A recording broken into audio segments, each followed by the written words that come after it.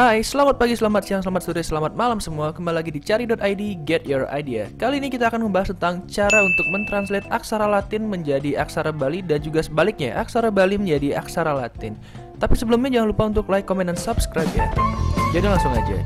Hal pertama yang harus kita lakukan adalah buka browser Lalu kita ketikkan Compiwin Translate bahasa Bali seperti itu ya. Lalu kita enter Lalu kita pilih website yang ini, yang paling atas, yang ada bacaannya www.compiwin.com. Kita klik. Ya, jadi kita akan langsung masuk ke websitenya. Nah, jadi guys, website Compiwin ini sebenarnya kalau misalkan aku review ya, ini tuh merupakan website yang dia isinya itu tentang informasi tentang gadget, teknologi dan lain sebagainya. Makanya di, di atas ini ada Android, ada Apple, ada games, ada Windows, ada Office. Jadi dia ada spesifikasi tentang hal-hal yang berbau gadget dan juga teknologi. Nah, ternyata juga di website ini dia ada translator aksara Balinya. Wah, keren banget sih ini. Jadi untuk admin Compiwin, wah lu keren banget sih. Jadi kita akan coba untuk pakai translate-nya ya coba ya. Jadi hal pertama yang harus kita lakukan adalah pilih aksaranya dulu. Apakah dari Latin ke Bali atau Bali ke Latin. Kita coba untuk pakai yang Latin ke Bali. Oke, kita pakai Latin ke Bali. Misalkan kita akan ketikkan apa ya? Misalkan mau belajar bahasa Bali gitu misalkan. Mau belajar bahasa es bahasa Bali. Nah, kalau misalkan kalian udah selesai nih ngetiknya, kalian bisa klik yang bagian pojok kanan ini ya. Konversi sekarang. Kita klik konversi sekarang dan hasilnya ada di bagian bawah. Nah, hasilnya adalah ini mau belajar bahasa Bali. Oke, translate-nya bener ya.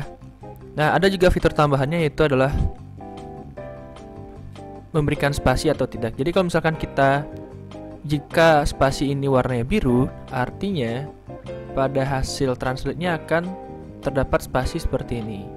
Tapi kalau misalkan kita ini klik menjadi tidak berwarna dan kita konversi maka hasilnya akan seperti ini, tidak ada spasinya. Gitu. Nah, selanjutnya kalau misalkan kalian mau mengcopy aksara ini, kalian perlu untuk mengunduh font Noto Bali Balinese. Jadi coba kita unduh ya. Jadi nanti font ini akan terinstall di Microsoft Word kita. Oke, kita langsung klik yang pojok kanan atas ini, download semuanya.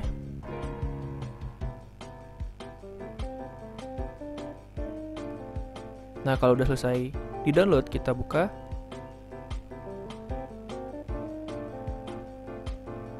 Dan kita langsung install fontnya. Yang ini ya. Yang ikonnya itu ada huruf A-nya.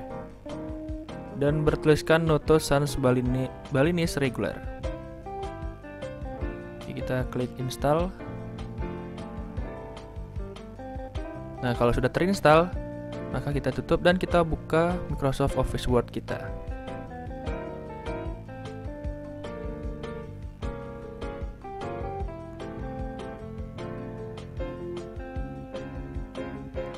Oke, kita coba copy. Oke, kita copy ini.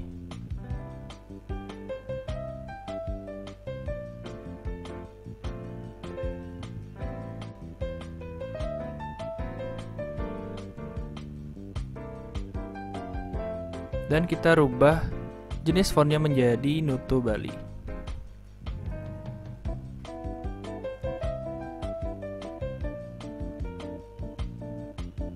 Yang ini ya, Nuto Sans Balinese. Jangan yang Nuto Sans saja, tapi yang Nuto Sans Balinese. Nah, maka hasilnya akan seperti ini. Nah, jadi itu cara untuk translate aksara Latin ke aksara Bali. Semoga bermanfaat dan terima kasih.